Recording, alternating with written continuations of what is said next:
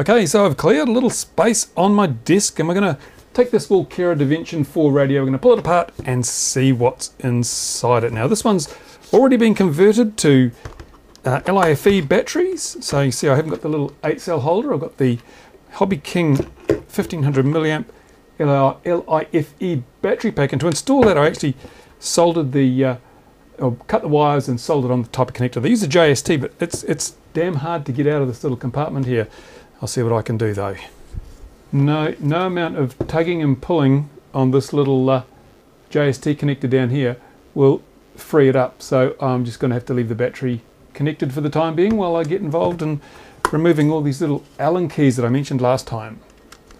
These are actually quite tight, these screws. So I suspect that they're just screwed into plastic pillars, as is often the case with these cheap Chinese radios. They don't use the threaded brass insert.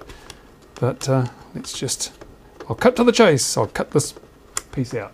And once you get the back off, this is what you see. It's a fairly conservative design. A lot of copper in there actually. I'm quite surprised how much copper we've got in here. We've got um, board down here for the switches, another board there for the other switches. Here's the LCD board.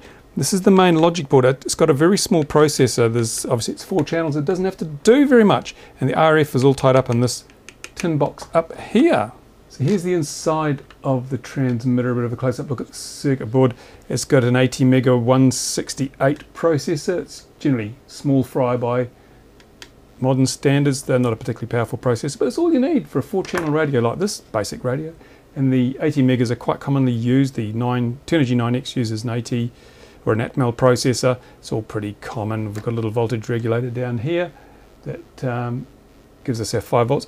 Um, um, bit um, disappointed to see that this is a linear regulator. There's no switch mode regulator inside this, so the full 9 volts of the battery will be, most of the power in the battery will actually be wasted because it's not uh, being switched, it's actually being dissipated as heat, the excess voltage from the 9.6 volt battery pack. What a shame if they'd used, well, they could have got away with using a, a 4 cell battery in this. It's most unfortunate though. I don't know why the Chinese manufacturers still sticking with using 9.6 volt packs in their transmitters. Seems a little bit odd to me, but there you go. Remembering that this logic here runs on 5, 3.3 or 5 volts, and in here sometimes down as little as 2 volts in the RF section, 2.2 volts, 2.5 volts, depending on what they're using. And I think they're using the Cypress chipset in here. I can't, I'm not going to take the lid off and have a look, but I think they're using Cypress chipset, which is a DSSS chipset. So I don't expect to see a full hopping system. I expect to see a 2 or 3 hump DSSS system when we put it on the spectrum analyzer. So here we are with the Walkera Devention 4 spectrum analysis and as you can see basically we just got noise at the moment right down at the minus 95 decibel mark. Basically it's just noise because we've got the transmitter turned off and we're just waiting to bind things up. So I'll turn on the transmitter first of all. Let's see what happens if I turn on the transmitter without having any receiver operating. And there we go.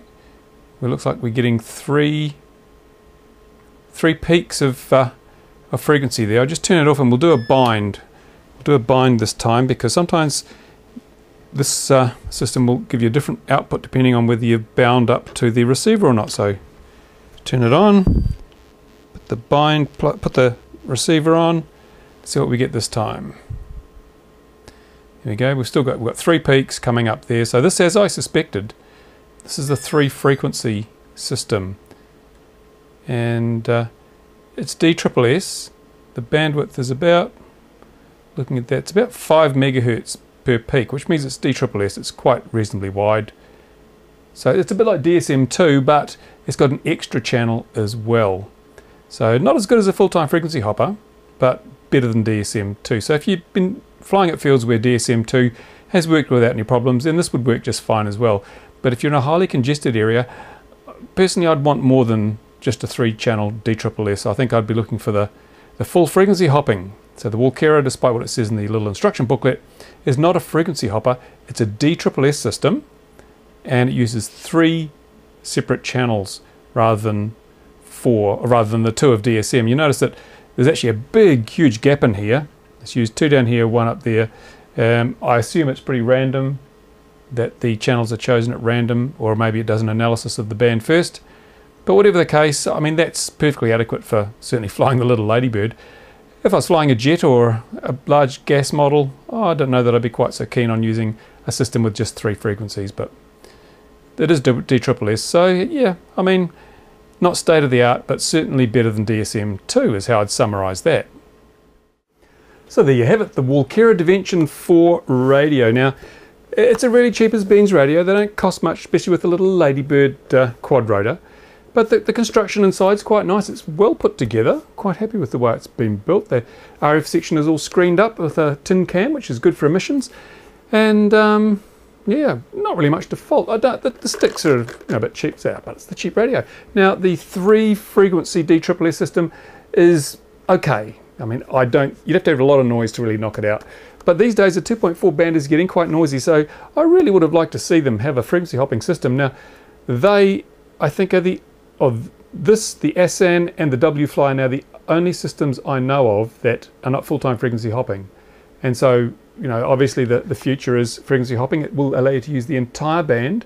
And even if 90% of the band is totally clogged with noise, a full-time frequency hopper will get through enough to give you some control. With these, if, as you saw on the spectrum analyzer, if each end of the band was cluttered and there was a big gap in the middle, then this wasn't going to work. This wouldn't work. You'd be blocked out. So doesn't use the whole band, so loses points there, I'm afraid. But as I say, on a four-channel radio for a 70 $80 quad rotor, it's probably not important.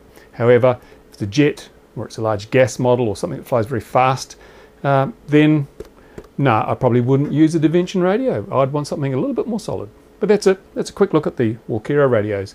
I'll go back to flying my, my little Ladybird now because it's just so much fun.